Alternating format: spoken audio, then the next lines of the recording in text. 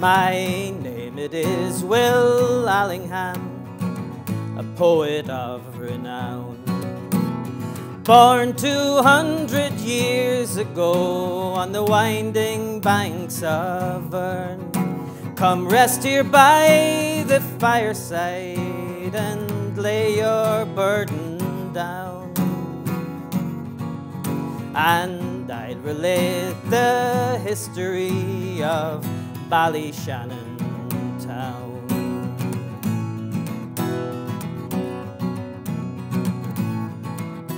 It starts on Inis Saimer many years ago when Partholon, the Prince of Greece, did make that isle his home.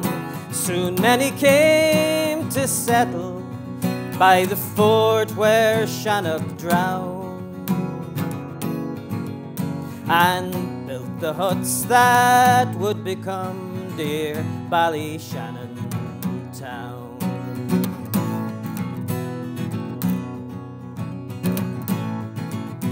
The Christians built an abbey by the falls at Assaroe.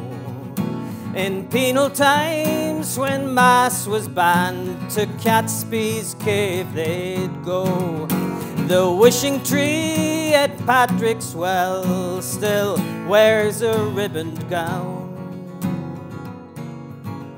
There people pray that God will smile on Ballyshannon town.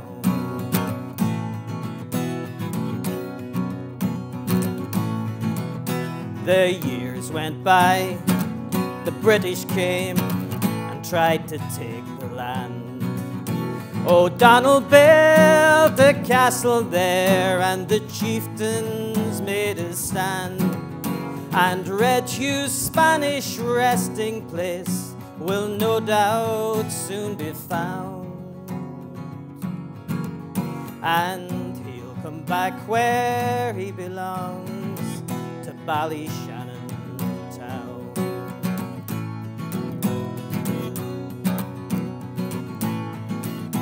And with the 19th century came hunger, strife, and pain.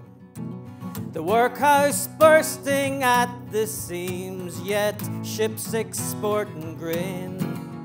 Then 19 tearful orphan girls left home for Sydney bound. Never to return again to Ballyshannon town.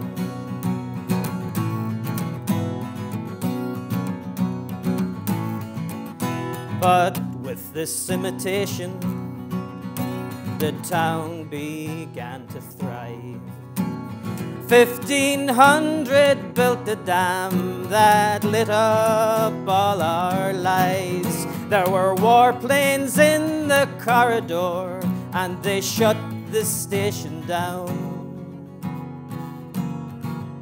But nothing stemmed the progress of Ballyshannon town.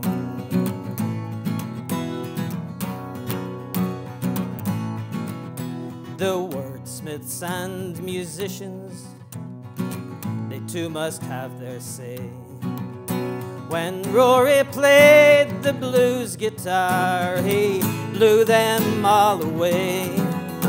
And Charlie Mack brought home with him the Eurovision crown. Here's to the bards from Donegal and Ballyshannon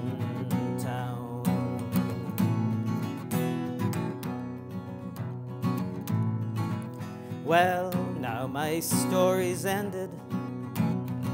Soon I must depart. This kindly place, this friendly spot is always in my heart. And as I sleep eternally in St. Anne's holy ground, my soul will ever be at peace Ballyshannon town. my soul will ever be at peace in Ballyshannon.